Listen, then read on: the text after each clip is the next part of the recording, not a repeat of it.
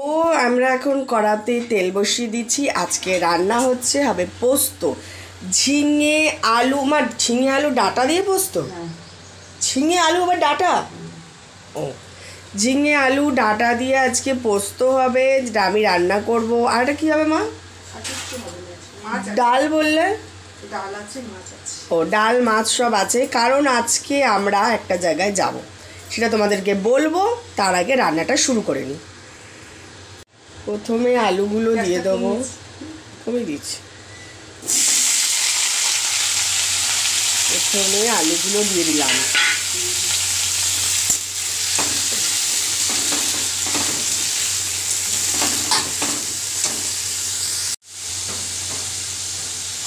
এবার নুন দিয়ে দেবো কি বলছো? হ্যাঁ বেগুন রাতে ভেজে নেব। আমরা পোস্ত খাই একদম সাদা মানে কোনো রকমের কোনো মশলা বা কিছু না, শুধু সাদা পোস্ত খাই আমরা। Friends welcome back to our channel আজকে আমরা একটা জায়গায় যাব, তাই জন্য আজকে বেশি আমাদের কিছু রান্না হচ্ছে না। আজকে শুধু পোস্ত হবে, ডাল হবে, আর হচ্ছে মাছের ঝোল কালকে আছে, তো সেটা সেটা আছে, সেটা খাওয়া হবে। এমনিতে আজকে বেশি কিছু রান্না হচ্ছে না। আর পোস্তটা আমি করছি ডাল টাল সব আছে। কেন আজকে আমরা যেখানে যাব, সেখানে হচ্ছে আজকে আমরা একটু বাবুঘাটে যাব। বাবুঘাটে যাব কারণ আমাদের গঙ্গার জল আনি আমরা বাবুঘাট থেকে। তো এখন তো বলতে গেলে মানে প্রিয়ঙ্করও নেই। তো আমি, দিদি, মা, বাবাও কোথায় যাবে? তো চারজন মিলে আমরা যাব গিয়ে বাবুঘাট থেকে গঙ্গার জল নিয়ে আসব। কারণ আমরা ওই দর্শকর্মার দোকান থেকে গঙ্গার জল কিনি না, আমরা ডাইরেক্ট বাবুঘাট থেকেই আমরা গঙ্গার জল আনি। তো সেই জন্য মা বলল, চল তাহলে আজকে গিয়ে আমরা আনব। তো আজকে যাব আমরা, গিয়ে আমরা আজকে বাবুঘাট থেকে গঙ্গার জল আনব। তো সেই জন্য তাড়াতাড়ি করার জন্য তাড়াতাড়ি করে নেওয়ার জন্য আজ তেমন কিছু রান্না হচ্ছে না। আজকে শুধু ওই পোস্ত, ডাল ভাত আর মাছ আছে, ব্যাস আর ওই ওই খাওয়া হবে আজকে। চলো তোমাদের সাথে ওখানে কী করছে আমি শেয়ার করব। পোস্তর অনেক দাম সেই জন্য মা এক চুলো পোস্ত নষ্ট করবে না বলে পুরো ভালো করে পোস্তটা গুলিয়ে নিচ্ছে। যাতে এতটুকুও পোস্ত লেগে না থাকে এতটুকুও পোস্ত যাতে নষ্ট না হয়। তাই না মা। এবারে এই ঝিঙেটা দিয়ে দেবো। এবার ঝিঙেটা দিয়ে দিলাম।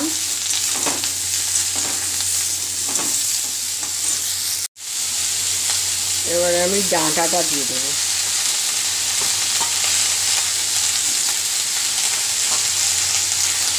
এবার বেশি করে নুন দিয়ে নাড়াতে হবে। নানান রকম সবজি দিয়ে আজকে তৈরি হচ্ছে পোস্ত। ঝিঙে থেকে একটু জল বেরিয়ে এলেই পোস্তটা দিয়ে দেবো। এবার পোস্তটা দিয়ে দিই।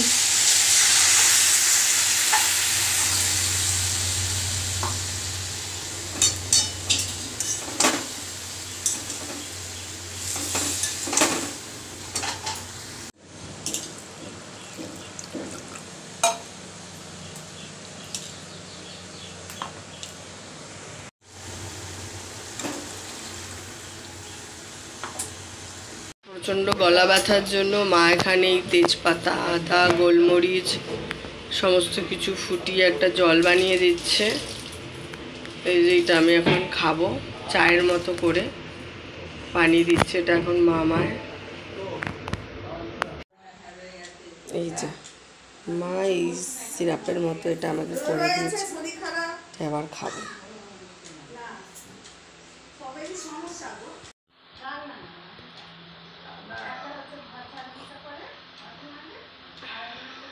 গলায় গরমটা গেলে না আরাম লাগছে।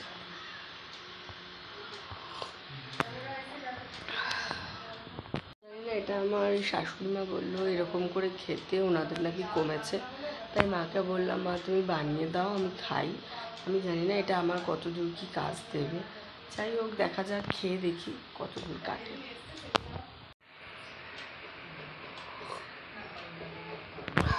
চলো, আমার পোস্ত মোটামুটি ডান, এবার জাস্ট একদম শুকনো করে নিয়ে নামাতে হবে, কারণ আমরা শুকনো শুকনো পোস্ত খেতেই ভালোবাসি।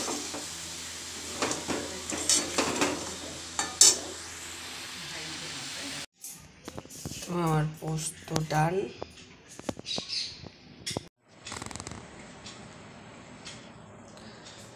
এখন আমি শশা খাচ্ছি, কারণ আমার মনে হয় যে ওই যে জলটা আমি খাচ্ছি, ওই জলটা খেয়ে আমার পেট গরম হতে পারে। তো তার জন্য আমি একটা শশা খেয়ে নিচ্ছি গোটা। জলটার মধ্যে দারচিনি, লবঙ্গ, গোলমরিচ, তুলসী পাতা,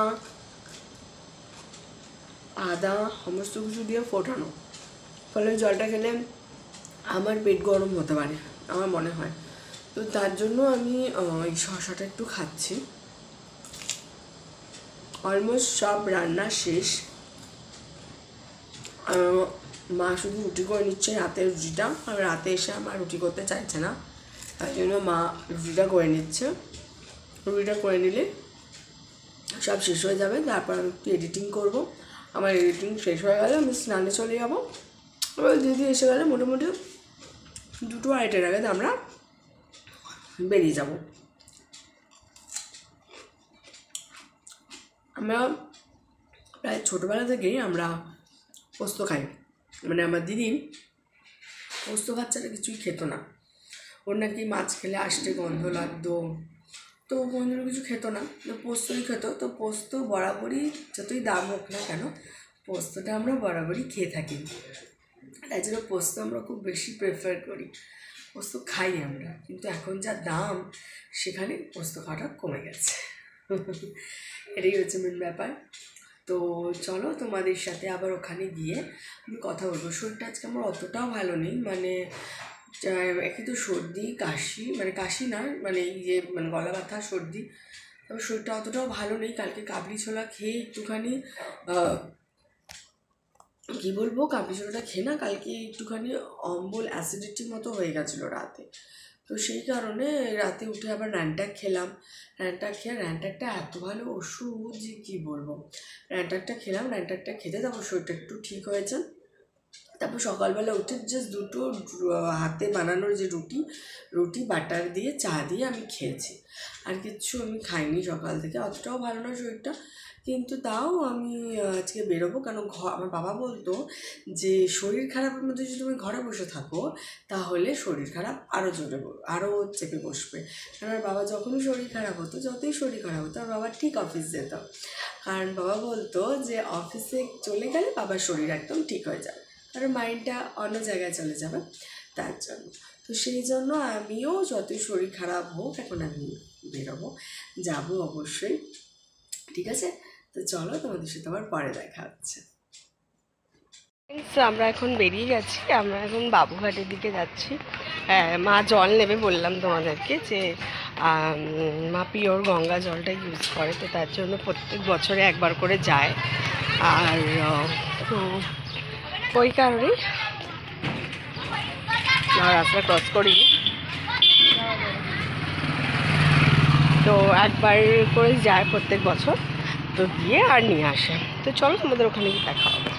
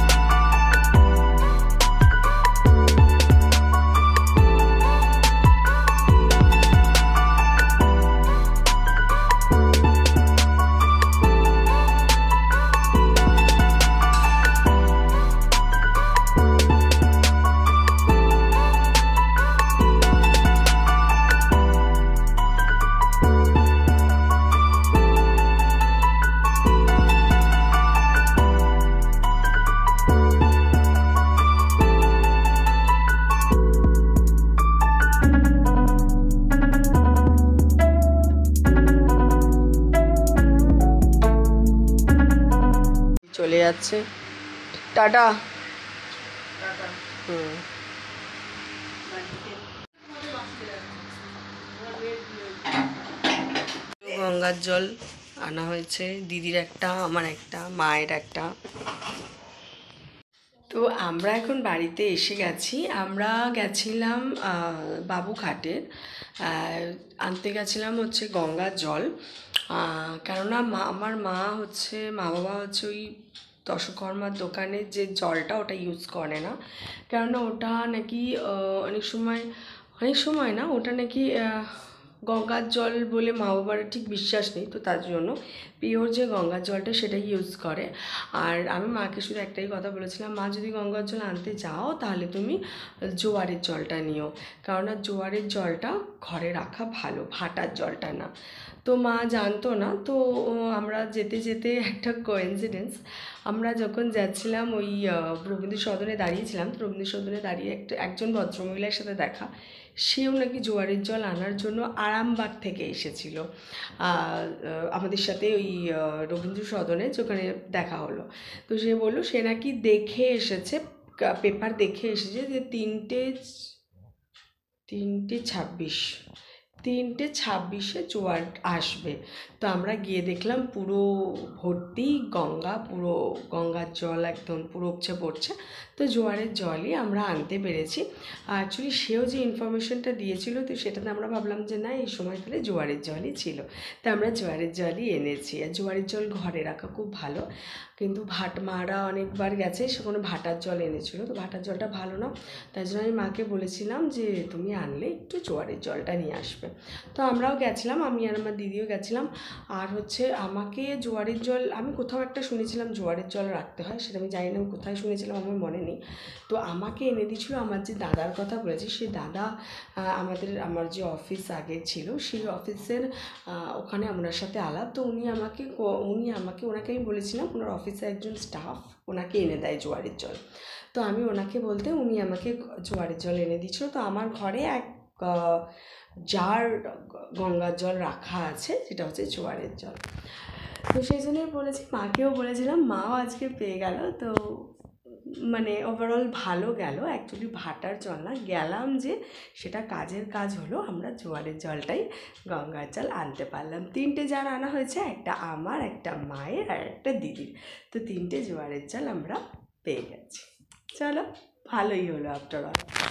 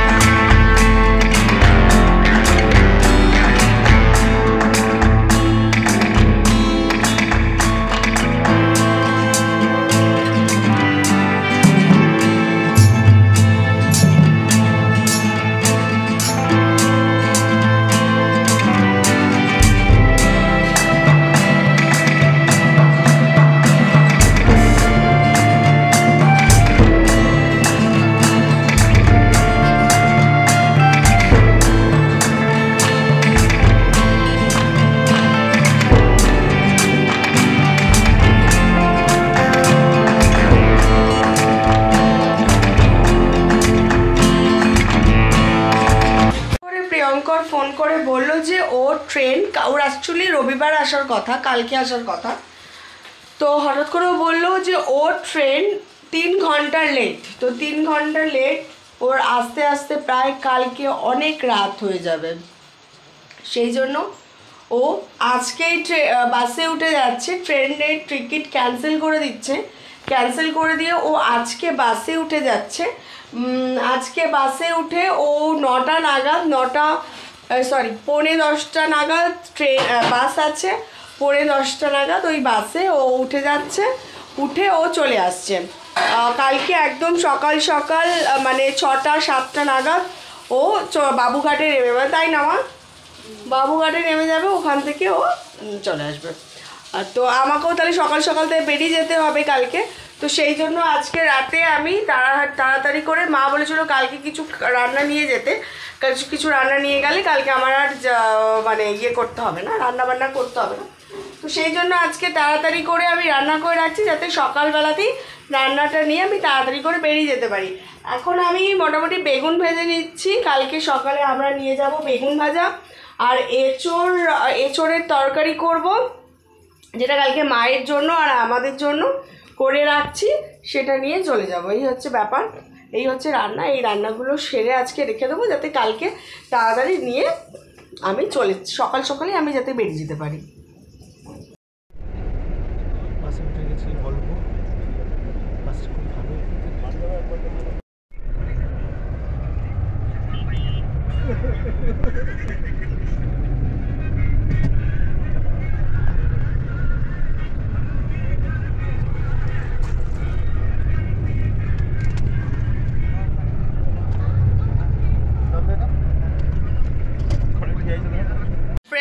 প্রিয়ঙ্করও বাসে উঠে গেছে, ওর বাস ছেড়ে দিয়েছে। ও এসে মনে হয় ধর্মতলায় নামবে।